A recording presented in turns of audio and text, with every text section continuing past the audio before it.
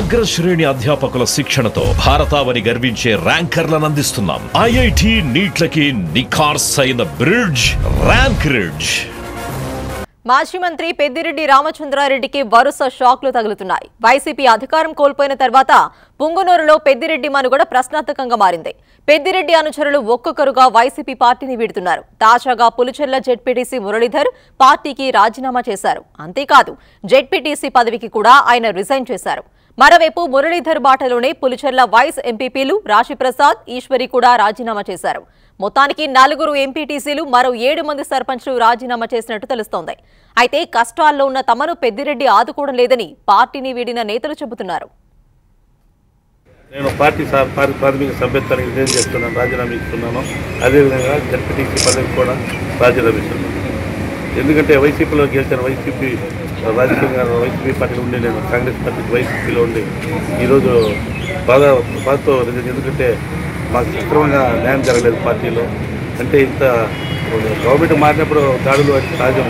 కానీ ప్రతి ఊరు కానీ చూసేవాళ్ళు చర్చించేవాళ్ళు ఎవరు కానీ గొడవలు జరుగుతున్నారు దాని ఎవరు కానీ మర్చిపోలేదు కాబట్టి మా వాళ్ళంతా మాట్లాడుకునే కార్యక్రమం ప్రకటన వ్యాపారంలో రాజకీయంగా మన భవిష్యత్తు గురించి మళ్ళీ చెప్తాను అంతవరకు లేదు ఏమనుకోలేదు మేము. ఎంతమంది రిజైన్ చేస్తున్నారు సార్? మాకు సర్పంచులు వచ్చి ఏడు మంది సర్పంచులు ఇప్పటికీ పది మంది మొత్తం సర్పంచ్ రాజీనామా ఇస్తున్నారు పార్టీకి ఎంపీటీసీలు నలుగురు ఇస్తున్నారు వైస్ ఎంపీటీలు ఇద్దరు ఇద్దరు ఎంపీటీ మొత్తం నలుగురు ఎంపీటీలు మొత్తం పద్నాలుగు మంది రాజీనామా ఎంపీపీకి ఉన్నారు. ఎంపీపీ రావడం పదవికి రాజీనామా చేస్తున్నది పదహైదు ఎంపీ ఎంపీటీసీ పదవికి రాజీనామా పార్టీ కాంగ్రెస్ వైసీపీ పార్టీకి సభ్యత్వం. ఇదే అంశానికి సంబంధించి మరింత సమాచారం రాయలసీమ రీజనల్ కోఆర్డినేటర్ ప్రకాష్ అందిస్తారు. ప్రకాష్. సుజన పెదిరెడ్డికి షాక్ మీద షాక్ తగులుతూనే ఉంది. నియోజకవర్గంలో ఆయన పరిస్థితి తిరిగే పరిస్థితి కూడా కనిపించడం లేదు.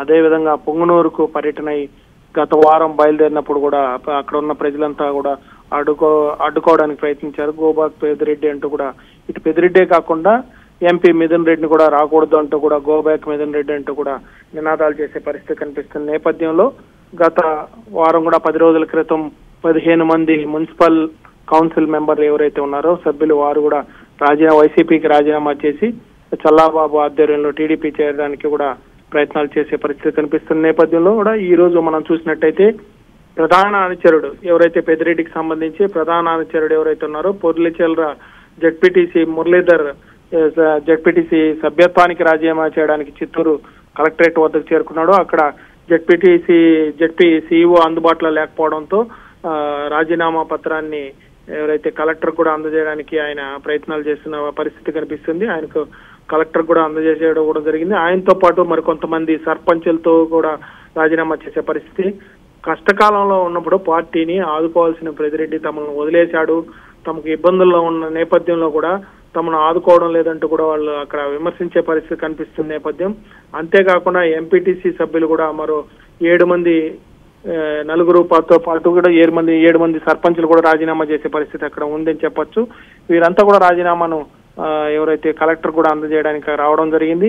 అక్కడ ప్రధానంగా చూసినట్టయితే పార్టీ కష్టకాలంలో ఉన్నప్పుడు తమను ఆదరించాలి. అదే విధంగా ఐదేళ్ళ పాటు ఆ పదేళ్ళ పాటు కూడా ఆయనతో పాటు తిరిగాము. ఈ రోజు తమను పట్టించుకోలేదు. కేసులు అవుతున్నాయి.